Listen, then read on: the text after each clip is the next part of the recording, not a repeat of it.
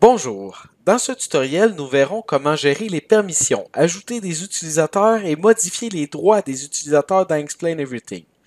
Tout d'abord, lorsque l'on clique sur le bouton d'invitation avec le code inscrit qui est situé en haut à droite, dans le menu qui apparaît maintenant, remarquez le bouton Access Permission qui vous permet de modifier les permissions du document dans lequel vous vous trouvez lorsque je clique dessus. Par défaut, toutes les personnes qui possèdent le lien, qu'il soit authentifié ou non, peuvent modifier le document dans lequel vous travaillez.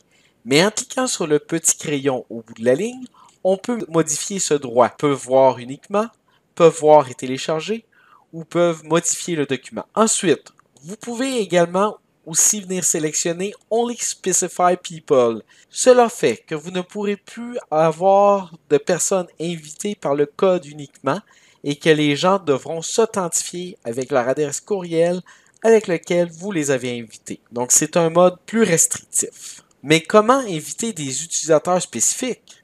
Pour ajouter des utilisateurs spécifiques, vous pouvez le faire à partir de leur adresse courriel. Pour faire cela, cliquez sur le bouton Add People dans la partie Search User, vous allez rentrer l'adresse courriel de la personne que vous désirez inviter. Lorsque c'est fait, appuyez sur le bouton Add, puis appuyez sur le bouton Save. Très important d'appuyer sur le bouton Save, sinon ça ne fonctionnera pas. À ce moment-là, l'invité recevra un courriel l'informant de votre partage. S'il est déjà connecté à Explain Everything, Lorsqu'il cliquera sur Edit Nord, il sera automatiquement reconnu en tant qu'utilisateur avec son nom grâce à son compte. Mais s'il n'est pas connecté, il sera vu en tant qu'invité anonyme, à condition que vous soyez sur Anyone with the link can edit. Parce que si vous avez sélectionné Only Specified People, les anonymes ne peuvent pas rentrer. Et Explain Everything demandera à votre invité de s'authentifier avec l'adresse courriel avec laquelle vous l'avez invité, et s'il n'a pas de compte, il devra donc s'en créer un. Notez également qu'un nouveau dossier Share with Me dans le drive d'Explain Everything vient être créé automatiquement pour permettre à l'utilisateur d'accéder au travail directement en cliquant dessus. Comment modifier les droits dans Explain Everything? Pour faire cela, retournez dans la fenêtre Add People.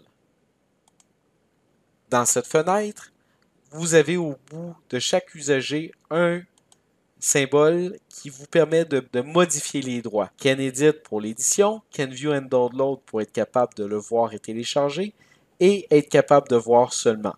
Ici, on peut retirer l'accès, mais pour que cela puisse avoir effet, en plus de cliquer sur Remove Access, il faut cliquer sur le bouton Save. Remarquez aussi qu'à cet emplacement, vous pouvez venir changer ici Only Specify User ou Anyone with the link.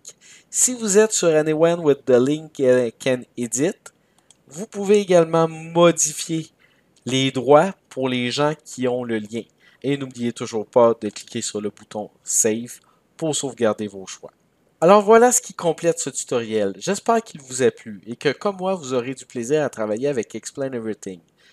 Bonne journée et à la prochaine.